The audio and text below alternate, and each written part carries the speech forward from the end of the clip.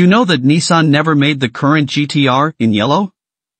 Nissan actually only offered the R34 Skyline GTR in yellow, but only produced 892 units in lightning yellow. This makes those cars very rare.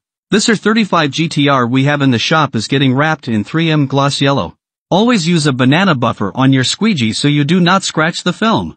You can see Mike here is glassing the film. There is a lot of vents and little details on this bumper so multiple pieces have to be installed. The bumpers are also aftermarket so there is a little more to work around on this one. Should Nissan have offered yellow on the current R35 GTR? Leave a comment below.